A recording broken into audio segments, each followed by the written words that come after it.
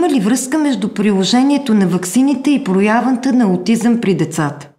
Аутизмът е труден за диагностициране проблем поради комплексната му природа и липсата на биологични маркери за болестта.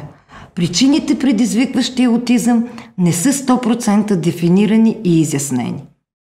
Като цяло много учени защитават идеята, че съществува генетично предразположение за болестта и че именно появата на редица гени води до симптоматиката и изявата на аутизъм като състояние, нарушаващо психичното развитие на децата. Все още не е ясно точно кои фактори отключват тези гени. Установено е, че момчетата биват 4 пъти по-често засегнати. Родителите обаче не искат да приемат отговори, не знам причината. Лесно е за този проблем да бъде обвинено приложението на вакцини.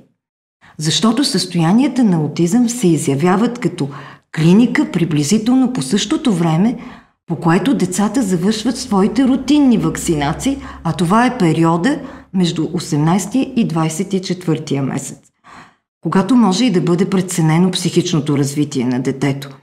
Статистически много събития могат да предхождат други събития без да ги причиняват или да ги провокират.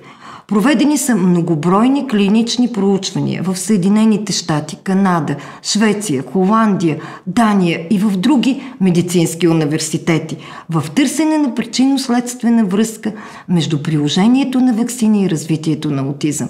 При никой от тях не е, показана, не е доказана корелация между вакцините и появата на аутизъм.